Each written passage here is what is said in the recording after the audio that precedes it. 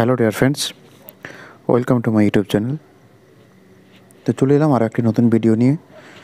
তো আজকের video topic হচ্ছে সামনে যে ওয়েস্ট বেঙ্গল পুলিশ রিক্রুটমেন্ট যে একটা আসছে আর কি, তো এইটা নিয়ে একটা মানে বলতে পারো একটা চরম একটা প্রতীক্ষা সবার মধ্যে এখন মানে বিরাজ বিরাজ করছে আর কি। তো তোমরা সবাই এখন খুব মানে ধৈর্য নিয়ে বসে আছো, আর অবশ্যই এটা একটা খুব মানে কি আর বলব? সত্যি একটা খুব খারাপ একটা বিষয়। মানে গত তিন বছর ধরে এখনও কোনো নোটিফিকেশান আসছে না। তবে আর বেশি দেরি নেই, কারণ ডিপার্টমেন্ট থেকে যে খবর পাচ্ছি মোটামুটি, তাতে খুব তাড়াতাড়ি ফর্ম ফিল আপ শুরু হবে। ফর্ম তোমার ধরে রাখতে পারো, মোটামুটি ফেব্রুয়ারি থেকে মার্চের মধ্যে ফর্ম ফিল আপ হয়তো শুরু হয়ে যেতে পারে। কারণ ডিপার্টমেন্ট থেকে যে খবরটা পেয়েছি আর কি, সেটা হচ্ছে কি যে তোমাদের এক্সামের কোনো প্যাটার্ন চেঞ্জ হচ্ছে না, অর্থাৎ আগে যে প্যাটার্ন ছিল প্রিলিমস এবং মেন যেটা ছিল আর কি, ঠিক আছে? সেটাই হবে, ঠিক আছে? কোনো রকম কোনো চেঞ্জ হচ্ছে না। প্রিলিমস মেন দুটো একসঙ্গে আবার হচ্ছে আগের মতোই, ঠিক আছে? তো হ্যাঁ তবে একটা বিষয় যেটা, সেটা হচ্ছে তোমার কোশ্চেনের প্যাটার্ন চেঞ্জ হতে পারে। মানে আগে যেটা আমরা যেভাবে দেখে সিলেবাসের যে ব্যাপারটা ছিল, সেই জায়গাটা হয়তো একটু পরিবর্তন হতে পারে। কিন্তু বাকি যে মানে প্রসেসিং যেটা ছিল, পরপর স্টেপগুলো প্রিলিমিনারি তারপর মেন মানে প্রিলিমিনারি তারপর মাঠে পিএমটি পিটি তারপরে মেন এবং ইন্টারভিউ তো এই প্রসেসের কোনো চেঞ্জ হচ্ছে না প্রসেসটা সেম থাকছে। বোঝা গেল? তো তোমরা অনেক দিন ধরে ওয়েট করছ। তো আশা করছি আর বেশি তোমাদেরকে ওয়েট করতে হবে না। তবে বলো, ধৈর্যটা ধরে রাখো, ধৈর্যটা ধরে রাখা সত্যি খুব দরকার। ঠিক আছে? তো চলো, এবার যে ব্যাপারটা আমরা আলোচনা করব সেটা হচ্ছে কি, যে এই যে ওয়েস্ট বেঙ্গল পুলিশ এই যে একটা রিক্রুটমেন্ট এর আন্ডারে কিন্তু অনেকগুলি নিয়োগ হয়, ঠিক আছে? একটা হচ্ছে তোমার কি? কনস্টেবল ঠিক আছে? আমি পুরোটা লিখছি না। কনস্টেবল তারপর হচ্ছে তোমার সাব ইন্সপেক্টর মানে এসআই যেটা আছে সেটা লেডি এসআই বা তোমার মানে মেল এসআই যেটা হয় আর কি। তো এই নিয়োগগুলো সবই হতে চলেছে এই দু হাজার চব্বিশে। মানে সত্যি কথা বলতে এই যে দু হাজার চব্বিশ যেটা সাল আছে না, এটা একটা মানে বলতে পারো যে সেই সমস্ত স্টুডেন্ট যারা সিরিয়াসলি পড়াশোনা করছে, তাদের মানে মিডল ক্লাস ফ্যামিলি বা লোয়ার ক্লাস ফ্যামিলি থেকে যারা বিলং করছে, গরিব ঘরের মানে চাষি ঘরের ছেলেরা যারা আছে আর কি। তো সেই তাদের জন্য দু হাজার চব্বিশটা একটা মানে স্বর্ণ একটা সাল বলা যেতে পারে। ঠিক আছে? কারণ এই দু হাজার চব্বিশে অনেকগুলি পরীক্ষা হতে চলেছে।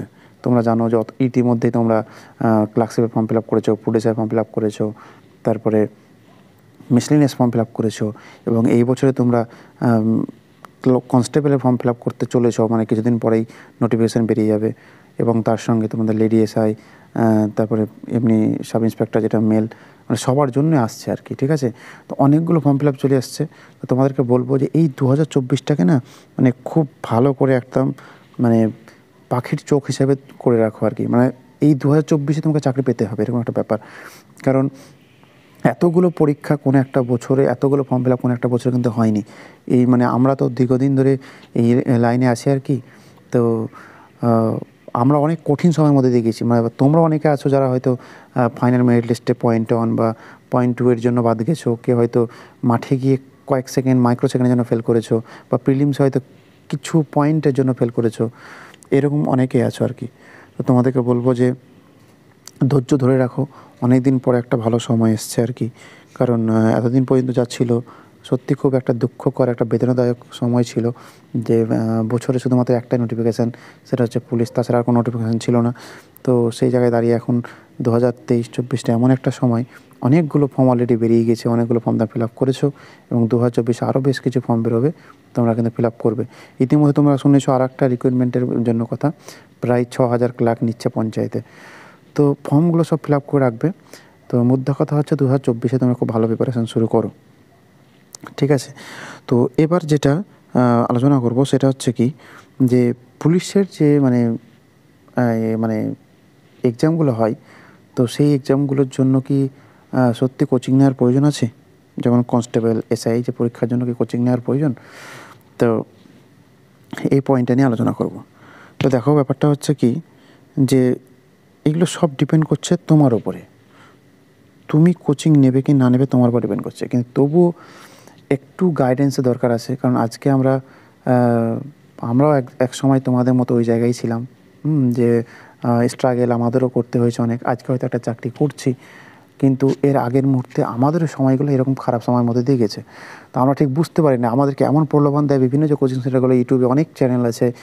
যারা মানে তাদের অ্যাপে কোর্স দিচ্ছে আর কি, বা অনেক অফলাইন কোচিং সেন্টার আছে। তো আমরা কি করি, সেই সময় আমরা হতমম্ব হয়ে যাই। আমরা ঠিক বুঝতে পারি না যে কি করব। তখন আমাদের মনে হয় যে কেউ একজন কিছু বলছে মানে হ্যাঁ ওটাই বেস্ট হবে। কিন্তু এই সময়ের মধ্যে দিয়ে আমরা কিন্তু মানে সেই রকম মানুষগুলোকে মানে খুব প্রয়োজন হয়ে পড়ে যারা সঠিক একটা গাইডেন্স গাইডেন্স মানে তোমাদেরকে দেবে আর কি। কারণ সবাই তো চাইবে না যে আমার কোর্সটা বিক্রি হোক। তো সেই জন্য সে তোমাকে পজিটিভ কথা বলবে। বাট একটা মিডিল ক্লাস ফ্যামিলি হোক বা সেই রকম একটা গরিব ঘরের ছেলে, তার মধ্যে তো সেরকম সামর্থ্য থাকবে না। সবসময় একটা কোর্স কেনা, হাজার টাকা, দু হাজার টাকা বা দেড় হাজার টাকার মধ্যে একটা কোর্স কেনা সম্ভব না সব সময় ঠিক আছে? তো সেই জন্য বলব যে কোচিংটা যে নিতে হবে এরকম কোনো ম্যান্ডেটরি কিন্তু বিষয় না, ঠিক আছে? কোচিংটা নিতে হবে এরকম কোনো ব্যাপার নেই। কারণ সত্যি কথা বলতে কনস্টেবল এক্সাম হয়তো এখন একটু কঠিন হচ্ছে আগের থেকে। এটা মানতে হবে যে আগে থেকে কঠিন হচ্ছে। বাট ততটাও কিন্তু হার্ড না যে তোমাকে এর জন্য কোচিং নেওয়ার প্রয়োজন আছে। ঠিক আছে? একটু থরলি পড়াশোনা করলেই কিন্তু এই কনস্টেবলের এক্সামটা কিন্তু পাস করা যায়। ঠিক আছে? আমিও পাস করেছি। আমি তার জন্য কোনো রকম কোচিং নিইনি বা কিছু না হ্যাঁ আমি হয়তো কনস্টেবল মানে এখন চাকরি করছি না। আমি হয়তো অন্য চাকরি করছি। আমি এখন বর্তমানে তোমার ওয়্যারলেস অপারেটর যে অফিসার র্যাঙ্কের যে এই ফর্মটা বেরিয়েছিল ওয়্যারলেস অপারেটর ঠিক আছে? আমি সেই চাকরিতে এখন মানে নিযুক্ত আছি ওয়্যারলেস অপারেটর অফিসার এই চাকরিটাতে আমি এখন মানে বর্তমানে আছি। তবে আমি বেশ কিছু পরীক্ষা পাস করেছি। আমি ক্লার্কশিপে পাস করেছিলাম, আমি কনস্টেবলে পাস করেছিলাম, আমি প্রাইমারি টেটও পাস করে আছি। কিন্তু আমি এখন বর্তমানে চাকরিটা করছি। তো ব্যাপারটা হচ্ছে, বলার বিষয়টা এটাই যে আমি কিন্তু কোথাও কোথাও কোনো কোচিং নিইনি। ঠিক আছে? আমি উইদাউট কোচিং উইদাউট কোচিংয়ে কিন্তু আমি তোমার চাকরি পেয়েছি। তো এই জন্য আমি বুক ফুলে বলতে পারছি যে চাকরিটা পাওয়ার জন্য কোচিংয়ে কিন্তু খুব একটা দরকার নেই। ঠিক আছে?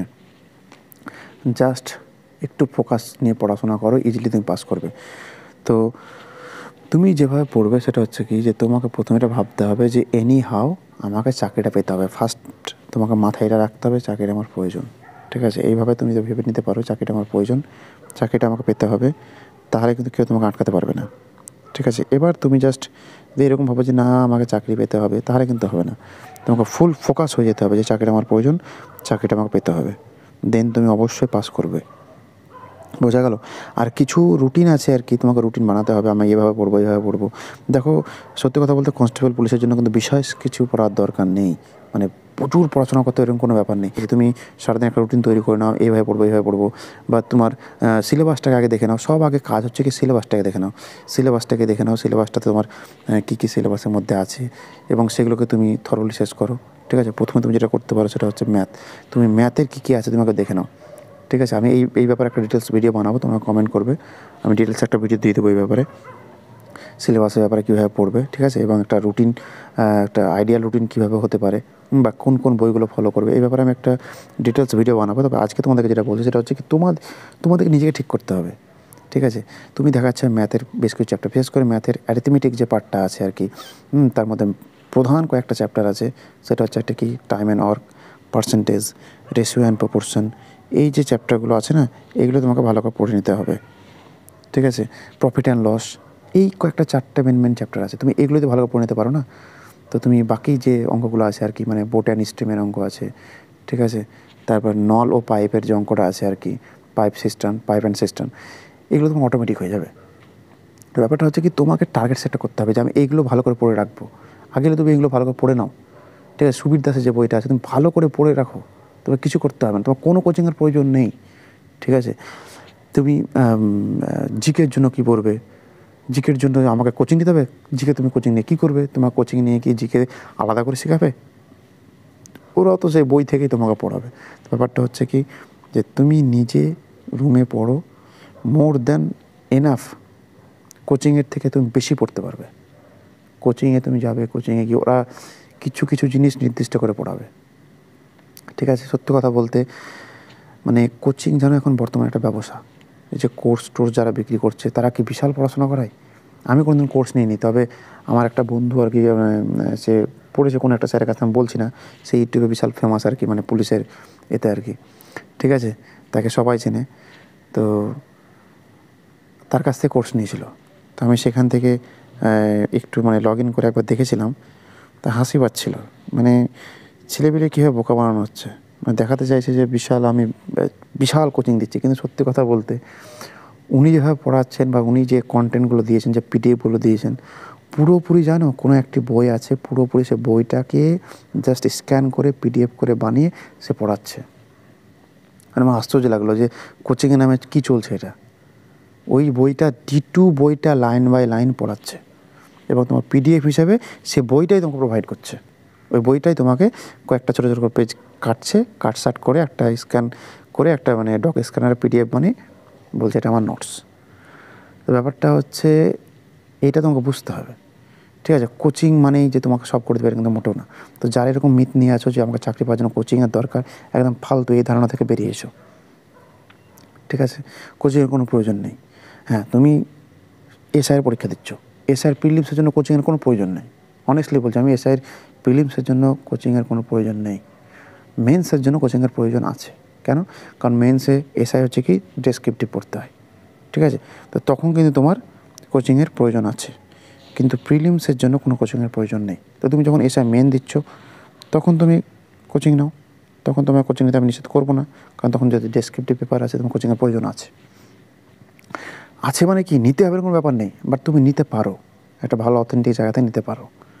ঠিক আছে? সেই জায়গায় তবু একটু মানায়। কিন্তু তুমি প্রিলিমসের জন্য কেন কোচিং নেবে? তুমি কনস্টেবলের জন্য কেন কোচিং নেবে? তো দেখো, আমি তোমাদেরকে সঠিক গাইডেন্স দেওয়ার চেষ্টা করছি যে তোমরা সেই টাকাটা বাঁচে একটা ভালো বই কিনো। অনেক ভালো বই আছে বাজারে সে বইটা কিনো। ঠিক আছে? আমি নেক্সট ভিডিওতে আমি বলে দেবো যে তুমি কোন বইটি ফলো করবে। বেশি বই ফলো করার দরকার নেই। কনস্টেবল পুলিশের জন্য তুমি জাস্ট দুটো বই ফলো করবে। দুটো বই ফলো করলেই তোমার কিন্তু হয়ে যাবে। সেই ব্যাপারে আজকে আমি বলছি না, ভিডিওটা অনেক বড়ো হবে। তো মধ্যে কথা হচ্ছে এটা যে কোচিংয়ের কোনো প্রয়োজন নেই, আত্মবিশ্বাসটা সবথেকে বড়ো জিনিস, আত্মবিশ্বাস রাখো। আর হ্যাঁ তোমাকে প্রচুর কিন্তু মানে একটা নিজেকে একটা মানে কনসিস্টেন্সি বজায় রাখতে হবে। তুমি যদি কনসিস্টেন্সি বজায় না রাখতে পারো দেন কিচ্ছু হবে না। তোমাকে একটা কনসিস্টেন্সি বজায় রাখতে হবে যে চাকরিটা আমাকে পেতে হবে, চাকরি আমার খুব প্রয়োজন। বাস এইটুকু দরকার। আর নিজেকে একটা মানে টাইম টেবিলের মধ্যে রাখতে হবে। আজকে আমি ছ ঘণ্টা পড়লাম, কালকে আমি এক ঘণ্টা পড়লাম, এরকম করলে হবে না। তুমি ছ ঘণ্টা পড়লে রোজ ছ ঘণ্টা পড়ো, তুমি চার ঘণ্টা পড়ো, তো এভরিডে তুমি চার ঘণ্টা করে পড়ো। ওর থেকে কম হবে না, বেশি হবে কিন্তু কম হবে না, ঠিক আছে? এই কনটি মানে কনসিস্টেন্সি তোমাকে ধরে রাখতে হবে। কনসিস্টেন্ট তুমি ধরে রাখতে পারো না, তাহলে তুমি দেখবে সব তুমি পাস করবে। তো যাই হোক ওয়েস্ট বেঙ্গল পুলিশের যে খবর আমরা পেয়েছি আর কি ডিপার্টমেন্ট থেকে, সেখানে হচ্ছে কি, যে খুব তাড়াতাড়ি ফর্ম ফিল আপ শুরু হবে এবং তোমরা যেটা দেখেছিলে বারো হাজার, ঠিক আছে? তো বারো হাজারের নিয়োগ হচ্ছে, ঠিক আছে?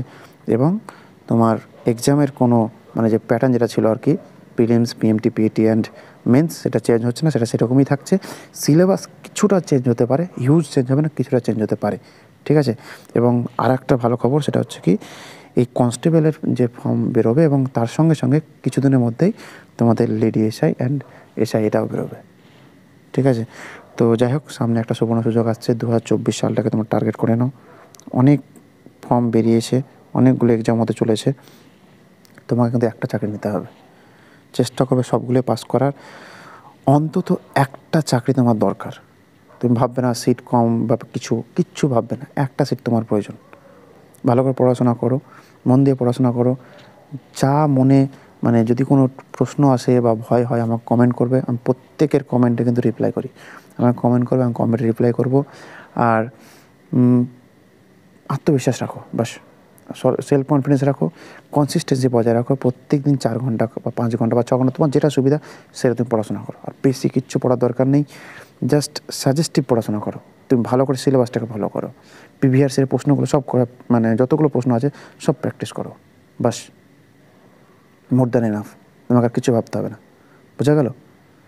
যাই হোক, আশা করছি তোমরা ভিডিওটি দেখে অনেক কিছু বুঝতে পেরেছ। ভালো করে পড়াশোনা করো, আমি অলওয়েজ তোমাদের পাশে আছি। তোমাদের যে কোনো প্রশ্ন হলে আমাকে প্রশ্ন করবে কমেন্টে, আমি অ্যান্সার দেবো। এবং যেটা মেন কথা হচ্ছে সেটা কি? যে তুমি পড়াশোনা করো। ভালো করে পড়াশোনা করো দু হাজার চব্বিশটাকে টার্গেট করো। যে আমার একটা চাকরি দরকার। কারণ সত্যি কথা বলতে, যারা সেরকম পরিবার থেকে মানে বিলং করছে, তাদের জন্য খুব দরকার একটা চাকরি। আমাদের বয়সটা মোটামুটি গ্র্যাজুয়েশন পর্যন্ত ঠিক আছে। কিন্তু গ্র্যাজুয়েশনের পরে যখন এক বছর, দু বছর চলে যায় না, অনেক চাপ আসে। এটা আমি ফিল করেছি, তোমরা অনেকে ফিল করছ। তখন বাড়ি থেকে টাকা চাইতে লজ্জা লাগে। তখন মানে বাইরে গিয়ে অনেক কিছু চোখের সামনে ভাসে, যেগুলো নিতে ইচ্ছা করে বাট টাকার অভাবে নিতে পারি না আমরা। ঠিক আছে? অনেক ইচ্ছা করে ভালো বড় কোচিং ইনস্টিটিউটে পড়ার টাকার জন্য পড়তে পারি না। লজ্জা লাগে যখন গ্রামে যাব, গ্রামে গিয়ে গ্রামের মানুষটা প্রশ্ন করে, কী রে, তুই তো বাইরে পড়ছিস এখনও তো চাকরি পেলি না? তখন খারাপ লাগে। এগুলো আমি ফিল করেছি এবং আমি জানি তোমাদের সঙ্গে এরকমই হচ্ছে, বাকি যারা আছো। তো সেই জন্য ভালোভাবে পড়াশোনা করো, মন দিয়ে পড়াশোনা করো। নিজের প্রতি বিশ্বাস রাখো, তুমি চাকরি পাবে। দেরি হচ্ছে বাট চাকরি অবশ্যই পাবে। বোঝা গেল? তো সেইভাবে আশা নিয়ে পড়াশোনা করো। আমি তোমাদের সঙ্গে আছি এবং থাকব। যা প্রশ্ন হবে আমাকে প্রশ্ন করবে, আমি তোমাদের রিপ্লাই দেবো। তো আজকে ভিডিওটি এই পর্যন্তই। আবার দেখা হচ্ছে নেক্সট ভিডিওতে। আমি সেই দিন তোমাদের জন্য একটা পারফেক্ট একটা রুটিন এবং কোন কোন বইগুলি পড়বে, কীভাবে পড়বে, সেই বিষয়ে একটা ভিডিও বানাবো। বোঝা গেল? তো ভালো থেকো, সুস্থ থেকো। দেখা হচ্ছে নেক্সট ভিডিওতে